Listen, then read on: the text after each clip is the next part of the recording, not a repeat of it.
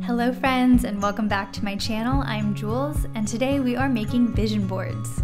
A vision board is simply a visual representation of your goals, your hopes, your dreams, and it's an opportunity to get creative and let your imagination run free. Today's exercise is a part of the Calm and Collected New Year Challenge, so if you're just joining us, be sure to catch up on the first two videos in the description below. Let's get started. The first step to creating a vision board is setting the mood. Maybe light some candles, put on some good music, I'll link my playlist down below, and create a calming environment. The next step is crucial. Let go of your limiting beliefs. To help you think more expansively when envisioning your dream life, I put together some thought starters. Feel free to pause as you answer each question. Ask yourself, how do I want to feel this year? What are some words of affirmation? Do you have a theme word for the year? What activities make me feel most in my element? What is an ideal day in my life?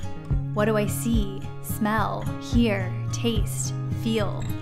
Who is by my side? Think big picture.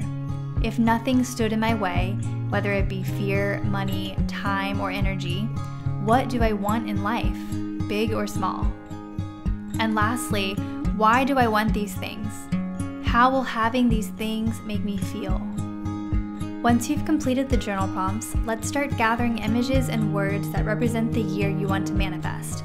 You can create a vision board digitally using Pinterest or physically using some cardboard as your base and some magazines and catalogs. Since I only had a handful of catalogs and they were mostly home decor, I ended up doing a bit of both.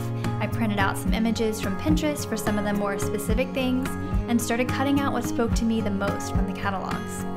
As you thumb through the photos, allow yourself to feel hope, excitement, and joy for the future.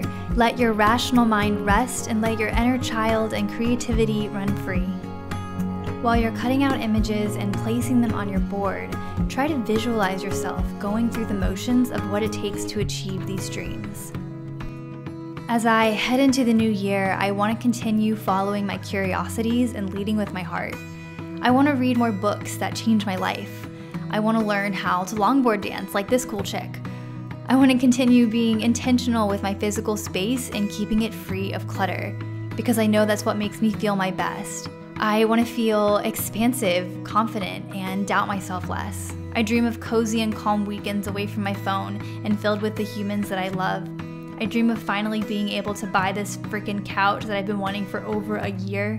I dream of going back to visit Korea, and I dream of finally going on our honeymoon in Bali, sleeping in tree houses, and paddleboarding in clear blue water. I have no idea what this new year will look like, but I am allowing myself to open the gates to my curiosities and begin to dream and feel hopeful again. By acknowledging these dreams, I am one step closer to making it a reality because I now have clarity on what it is I even want. And that's usually the hardest part. Once you're clear on what the goal is, you can then work backwards to plan your steps to actually get there. Allow your vision board to be an unfiltered visual representation of your dream life. You're planting the seed, you're visualizing what's possible, and in next week's video, we'll create a roadmap to actually make it happen. Thanks for joining the Calm and Collected New Year Challenge. I will see you next week.